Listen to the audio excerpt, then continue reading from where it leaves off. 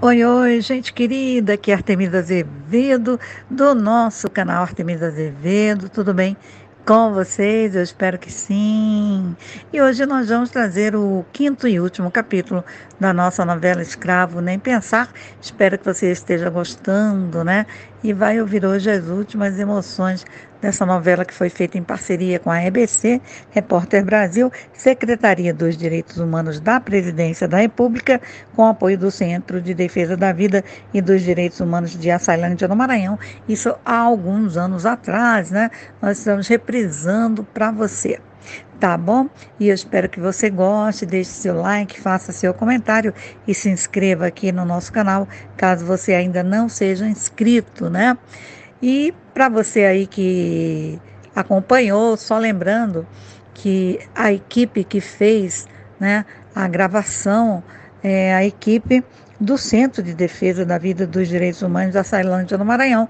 Por isso não tem as vozes né, dos locutores da Rádio Nacional. E foi feita pelo pessoal de lá e eu achei maravilhosa, né? É, essa gravação. Eles fizeram o meu roteiro, eu fiz o roteiro, mandei para lá e eles fizeram a gravação, ficou muito, muito boa. Então vamos ouvir então o último capítulo de Escravo Nem Pensar. Novela Escravo Nem Pensar. Julião recebe muito pouco no interior do Maranhão. Procura outro trabalho e acaba numa fazenda no Pará. Desesperado, ao se descobrir escravo, toma a decisão de fugir. Vai, vai! Ele e seu amigo Emiliano conseguem realizar a fuga e denunciam o dono da fazenda ao grupo móvel de fiscalização. E eu quero ver a alegria dos nossos amigos quando souberem que estarão livres e que vão receber todos os seus direitos. Isso não tem preço. O grupo vai até a fazenda e os capangas do fazendeiro reagem. Ei, Avisa o patrão!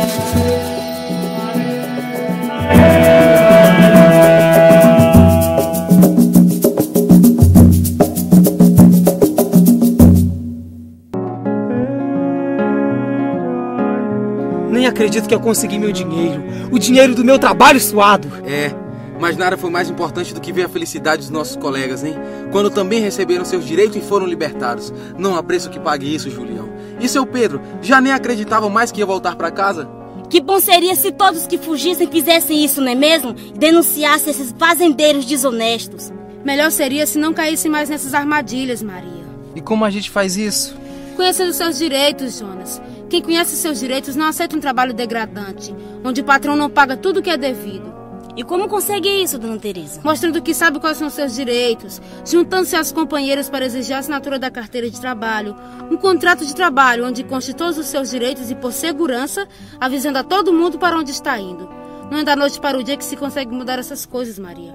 Mas se alguns começarem, outros vão seguir seus exemplos. É a falta de trabalho que nos leva a isso. E a falta de organização também, Emiliano. Se os trabalhadores se unissem, formassem suas associações e suas cooperativas, entrassem para os sindicatos, muita coisa mudaria. Uma pessoa sozinha pode não fazer muito, Emiliano, mas muitas pessoas podem fazer sim. Eu acho que entendo o que você quer dizer, dona Teresa. Não devemos só ficar esperando as coisas mudarem. Devemos arregaçar as mangas e fazer acontecer. Exatamente, Jonas. É isso aí.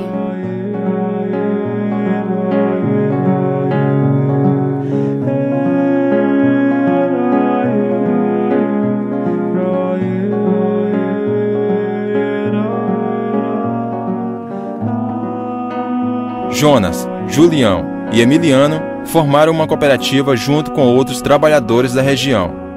Assim conseguiram empréstimos para ferramentas, sementes e puderam trabalhar em suas terras.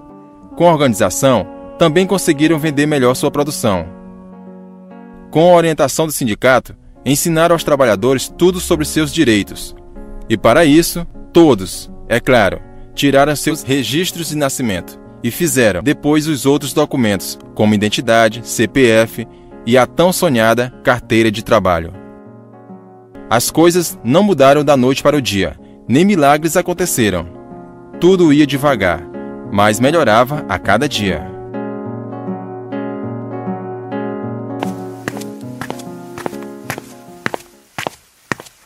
Cadê o Emiliano?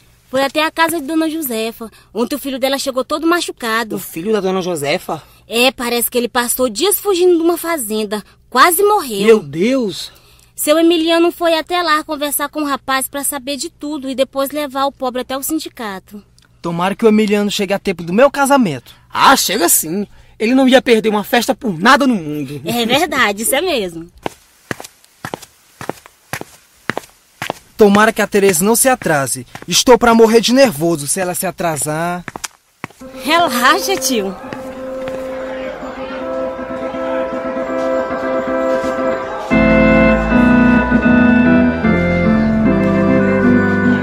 Quem diria que eu iria me casar com a enfermeira mais bonita da região? E mais inteligente também. Que isso, gente? Eu só ajudei. Por sua causa, dona Teresa, hoje somos felizes. Que bom, Julião. Não somos ricos, mas trabalhamos duro sabendo que o nosso trabalho será recompensado. Nada paga isso. Ver o resultado do nosso trabalho. Olha, vocês mesmos mudaram suas vidas com suas decisões de cobrar seus direitos. Isso é verdade, mas você conseguiu meu emprego na padaria e me incentivou a estudar. E o melhor, pessoal, eu tenho a minha carteira assinada. Nós não vamos parar de falar de trabalho? Gente, isso é uma festa. Agora é hora de comer, de beber, se divertir. É, isso também é verdade.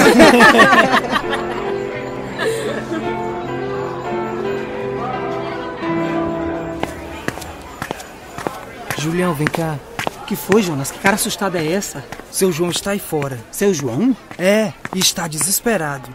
Teve notícias do filho. O que aconteceu? Um rapaz conseguiu fugir de uma fazenda e disse que o Paulo, coitado, está morto. Morto? Morreu doente na tal fazenda. Meu Deus, será que isso não vai acabar nunca? Fica aí, Jonas. É o seu casamento. Mas chama o Emiliano. Eu vou levar o João lá pra casa. Pede pra ele ir pra lá. Tá certo. Ai, meu Deus. Quando que isso vai acabar? Quando? O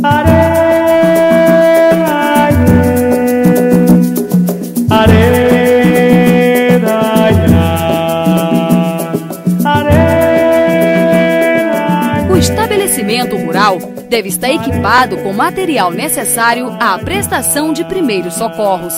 Se no local existem 10 ou mais trabalhadores, deve haver uma pessoa treinada para essa função. Em caso de doença ou acidente de trabalho, o patrão deve prestar os primeiros socorros e encaminhar o empregado para assistência médica adequada, sem descontar nada no salário do funcionário.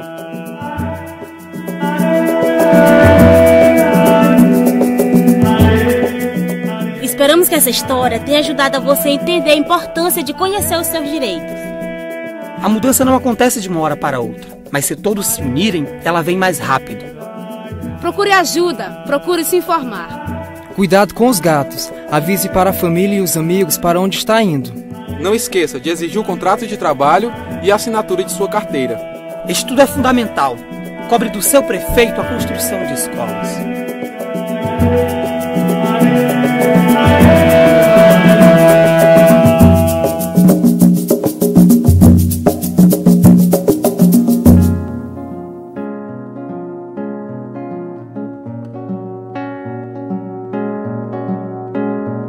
Radionovela Escravo Nem Pensar. Julião é Francisco Cruz. Maria é Maria Lúcia Viana. Chico Maluco é Marcos André Gomes. Jonas é Fredson Silva. Emiliano é Eliseu Araújo. Tereza, Gracinha Donato. Direção e edição de Caio Cavecchini. Roteiro de Artemisa Azevedo. Trilha sonora de Xavier Bartaburo. Narração de João Rodrigues. e Marli Alves.